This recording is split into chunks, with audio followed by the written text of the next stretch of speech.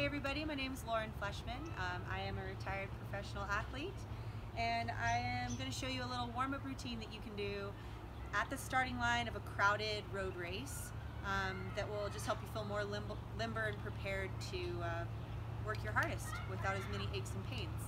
So uh, I have my baby here, Zadie, and she's just kind of taking up space like a person next to you and just I'm going to use a very small amount of ground so you can do this in a crowded area. So first thing that you're going to do is you're going to start with pulling your knee to your chest and standing as tall as you can. You pretend there's a string attached to your head like puppet and you want to be nice and tall. You're lifting your knee up as high as you can. Use your hand to pull it the last couple inches. And you stand up tall on your straight leg. Do that about eight times. Then you're going to do um, heel to your butt eight times. You bring your leg most of the way up with your own hamstring power and your hand just pulls it up the last couple of inches. You do eight of those. Then you're gonna do a forward lunge. Something you can do if you need to clear a little space is be like, excuse me, I gotta tie my shoe. Take up a little space for a second, then you've made an opening. And all you're gonna do is forward lunge. So you get a nice hip flexor stretch. And you wanna tighten your back glute as you're coming down.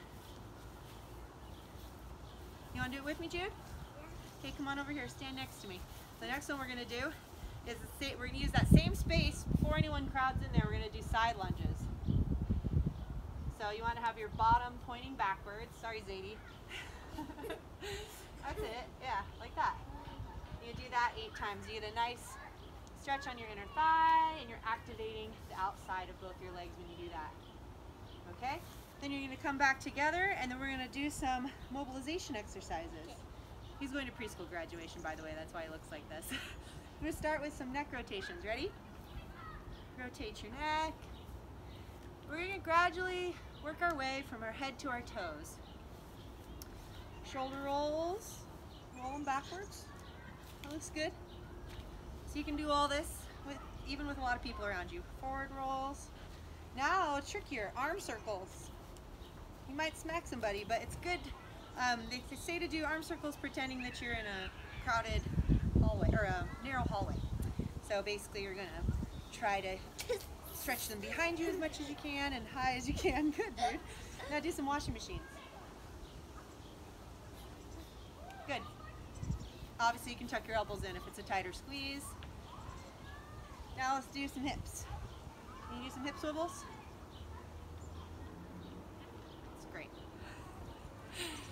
This one is a little bit of a luxury. If you have enough space, you can do around the world. But basically, you're gonna reach up and over. And if you don't have room for your arms to stretch out, you can put your arms across your chest. But the main idea is to get your sides to stretch out a little bit, help uh, prevent some cramping. Then you're gonna put your feet together, put your hands on your knees, and do some, we call them knee rotations, but really it's the bones in your ankles that are rotating around on each other, which is really, really, really good. Get all the juices flowing into your, all those little ankle bones, tarsal bones. Then you're gonna rotate each foot, like this. Each direction, about four or five times. Like that. That's good. That's how you get through the rotations. And if you have time and you want to activate and get your heart rate pumping a little bit beforehand, you can do what's called standing drills. Um, so the first one we're going to do, Jude, you ready? Called Russian Dance. So you're really pulling your legs back. I'll show you from the side view. Using your glute muscles. It's kind of hard on grass. How do you even do that without bending your legs? Uh, it's practice. Yeah, but you want to not bend your legs. Then the next one's going to be uh, butt kicks. You ready? You stand and kick your bottom. Kick, kick. do it kind of fast so it gets your heart pumping. And